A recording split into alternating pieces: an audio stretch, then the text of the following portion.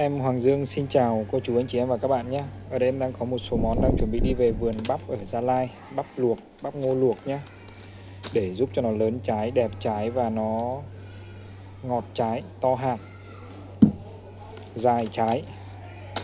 Thì cái này các anh chị sẽ sử dụng vào cái thời điểm là cái lúc mà cái cái cây cây bắp mình nó đã đứng ngọn đấy là chuẩn bị ra bông ấy là các anh chị đã sử dụng được cái này để phun xịt rồi lấy một nửa viên này kết hợp cùng với khoảng tầm 25 20 đến 25 ml cái chai này. Phun xịt cho cây bắp trong thời kỳ nó đứng ngọn nó đang à, ra hoa. Và đang cõng em bé đều được nhé. Đấy là nếu mà sử dụng bình đeo lưng còn nếu như sử dụng phi 200 lít ấy, thì một phi các anh chị sẽ sử dụng 5 viên này kết hợp cùng với một nửa chai để phun xịt cho nó. Sử dụng cho bắp ngô nhé bắp ngô luộc bắp ngô nếp luộc.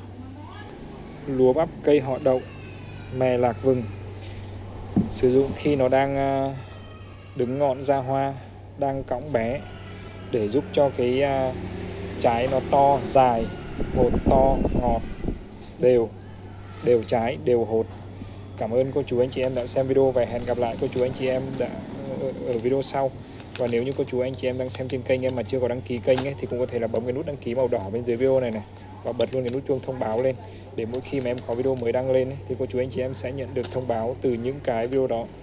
Một bộ của nó sẽ có là một chai này một chai kali bao sữa này kết hợp cùng với khoảng 10 cái viên như thế này là các anh chị sẽ pha được khoảng tầm 400 lít nước bằng với khoảng 20 bình đeo lưng loại bình 20 lít nhé